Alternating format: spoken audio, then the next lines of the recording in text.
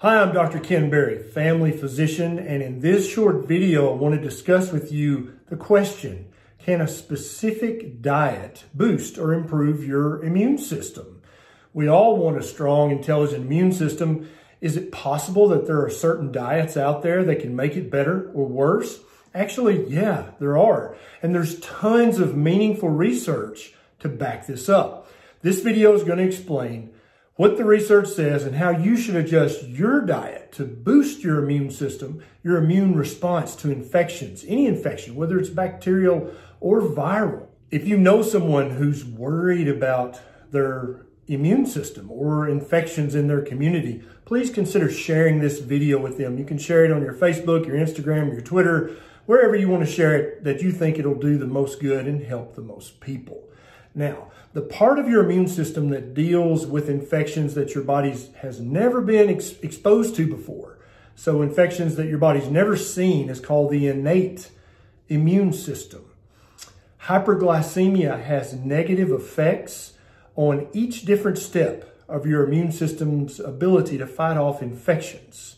So hyperglycemia is high blood sugar. And you may think, well, you're talking about chronically high blood sugar that a type 2 diabetic or a type 1 diabetic might have. But no, actually, most of this research that I'm going to talk about was done on transient, acute blood sugar spikes, like after you eat a high carbohydrate meal. So this is actually very important for you on a meal to meal basis. You may have heard of a friend who was scheduled for surgery and the surgeon said, yeah, we're going to have to postpone your procedure because your blood sugar is just too high. Why would a surgeon do that? That cuts down on their income. I mean, there's got to be a good medical reason, right? And there absolutely is because anytime your blood sugar is elevated, it increases your risk of bacterial infections, of viral infections, of keeping an infection longer, of not healing properly, of passing that infection on to other people, and of dying from that infection. So absolutely, if your surgeon detects that you have high blood sugar, even more than a little bit, they're probably going to postpone your surgery, and rightfully so until you get your blood sugar under control. Now, when you're talking about the different machinery of the human immune system, it gets very complicated very quickly. I'm going to try to summarize the effects that even a temporary slight increase in blood sugar can have on your body's ability to fight infection.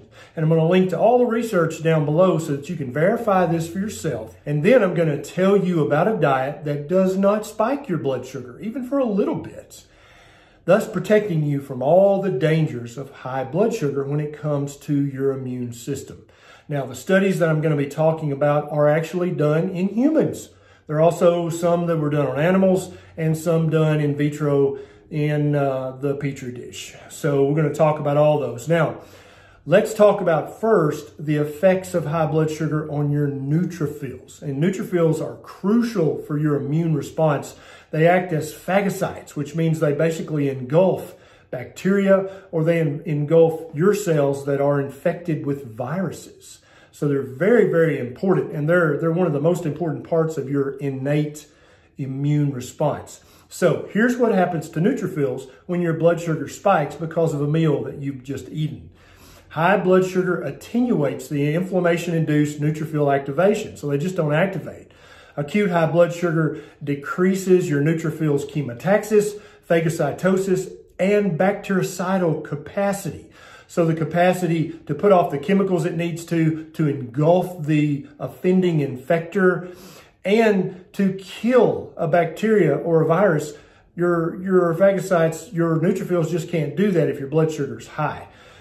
High blood sugar uh, impairs your neutrophils of respiratory burst capacity. And this is a specific tactic neutrophils use in your respiratory system, in your lungs, in your bronchial tubes, in your throat, in your oral pharynx to fight infection.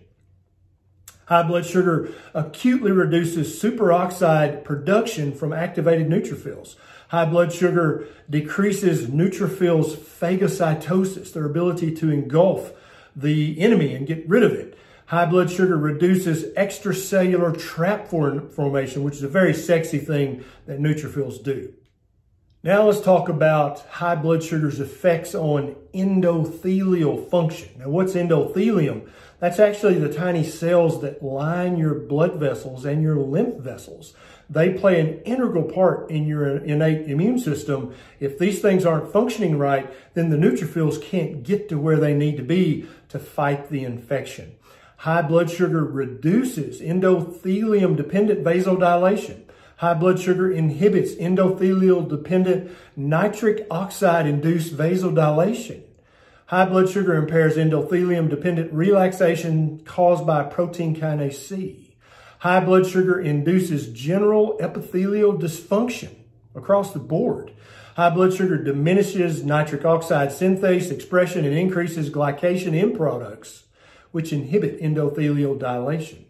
High blood glucose induces oxidative stress and upregulation of cyclooxygenase, resulting in reduced nitric oxide availability. And high blood sugar leads to rapid increase in endothelial cell permeability.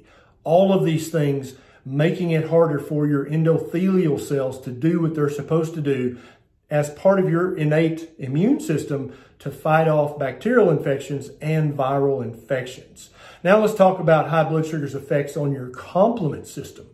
The complement system is the part of the immune system that enhances the ability of antibodies and phagocytic cells to clear microbes and damaged cells from your, your body, promote inflammation, and attack pathogens. So that's what the complement system does in a nutshell. It's obviously much more complicated than that, but that's a good nutshell look. High blood sugar induces chronic inflammation and fibrosis. We, this is listed in multiple studies as an effect of even transient, temporary high blood sugar readings. High blood sugar inhibits complement receptor phagocytosis. This is a different kind of phagocytosis that, than the neutrophils normally do. High blood sugar inhibits the attachment of C3 protein to microbial surfaces and impairs opsonization, which is the marking of infected cells for destruction. So your body can't even mark the offending bacterial cell or the, the cell of yours that's been infected with the virus. Your body can't even mark that or opsonize it because of high blood sugar. High blood sugar leads to significant reduction in complement fixation by immunoglobulin. Therefore, based on the numerous studies I've published below and the numerous other studies that are listed in the citations of the studies I published, there's clear, obvious, copious amounts of evidence that a diet that causes blood sugar spikes in you is or chronically high blood sugar readings is going to impair and muck up each step of your innate immune system's ability to fight off both bacterial and viral infections. Therefore, if you eat a diet that does not lead to any blood sugar spikes or chronically high blood sugar levels, you are absolutely optimizing your immune system's ability to not only detect infection early, but to detect infection properly to fight that infection vigorously and ultimately to win.